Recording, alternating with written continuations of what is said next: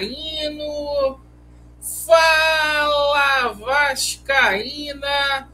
Tudo bem? Uma boa tarde, um bom começo de noite, um casaca no seu coração, que Deus possa abençoar as nossas vidas. Vídeo objetivo para a gente falar do nosso amor em comum, o Clube de Regatas Vasco da Gama, e para dar ênfase aí às principais notícias do Vascão.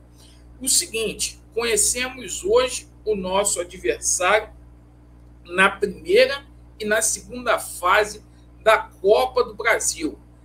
Tomamos conhecimento aí sobre a situação do interesse do Vasco da Gama aí no Diego Valois. O Vasco disposto aí a pagar um caminhão de dinheiro aí para esse jogador do Talheres.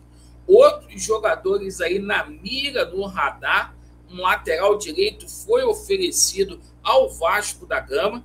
E a gente vai falar aqui sobre a preparação do Vasco da Gama para o jogo contra o Fluminense, porque hoje não teve folga. O jogo foi ontem contra o Nova Iguaçu, mas hoje todo mundo foi para campo, lá no Mané Garrincha, o Vasco ainda está lá em Brasília, para poder pegar no batente e fazer bonito no domingo. Bom, eu peço a você que não é inscrito para poder se inscrever no nosso canal, deixe o seu like ou o seu dislike e ativem aí o sininho. Bora falar aqui sobre o nosso Vascão da Gama. Vamos começar aqui com a Copa do Brasil. Hoje a CBF fez o sorteio. O Vasco da Gama vai enfrentar o trem lá do Amapá, certo? Vasco que já jogou com o trem em duas oportunidades. Uma em 1953, a gente venceu por 5 a 0. A outra partida foi em 1987, vencemos por 2 a 0. O Vasco, passando pelo trem do Amapá, vai enfrentar aí ou o Tum Tum do Maranhão ou o ABC do Rio Grande do Norte, certo? E o seguinte, galera, vamos ficar atento aí, porque o time tem que estar na ponta dos cascos.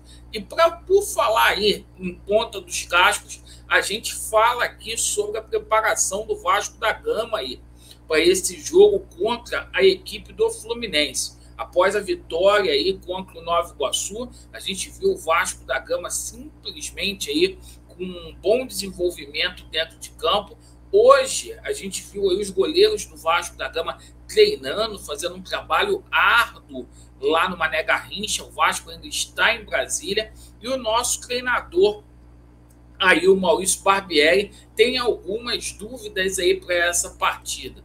No gol, vai o Léo Jardim ou o Ivan para ser titular? Deixa sua preferência aí nos comentários. O Vasco também tem outra dúvida ali no meio-campo, né? O Alex Teixeira ontem colocou uma dúvida aí, uma pulga atrás da orelha aí do treinador Maurício Barbieri. Com quem será que ele vai?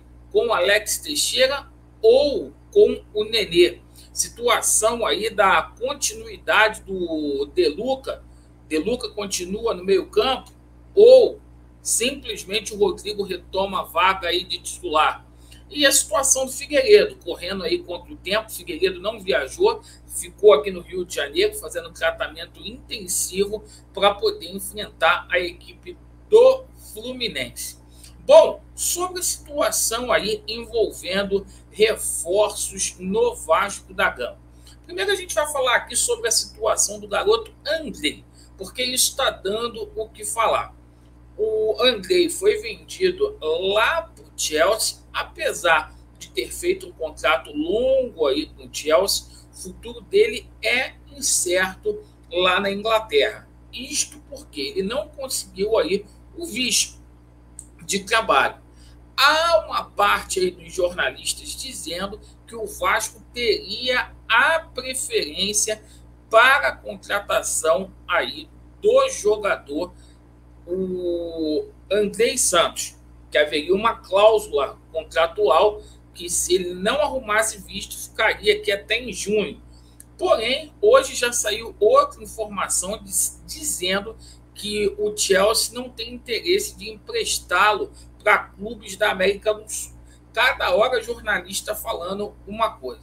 Mas eu creio que deve existir essa cláusula aí de preferência, sim, ao Vasco da Gama para que a gente tenha o André, certo? E a gente continua falando aqui porque hoje pegou a gente de surpresa, porque o Vasco está muito bem aí nas laterais.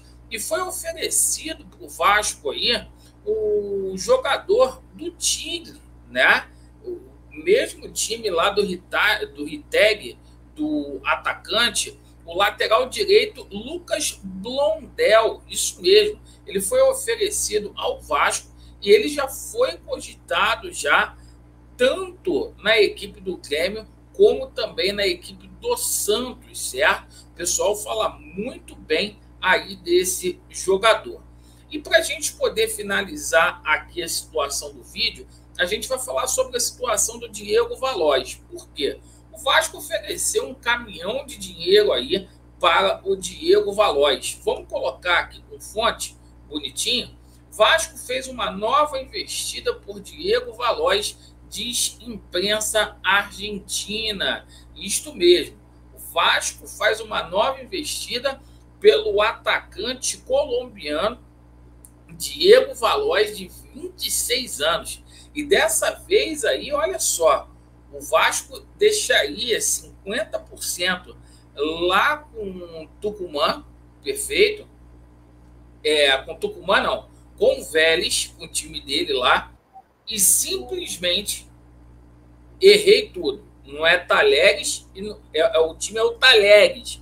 Talheres, é que é muito clube na Argentina para a gente se acostumar. Vamos lá, o Talheres. O Vasco deixaria 50% com o Talheres, esquece Vélez, tá? E Tucumã, isso é outra coisa.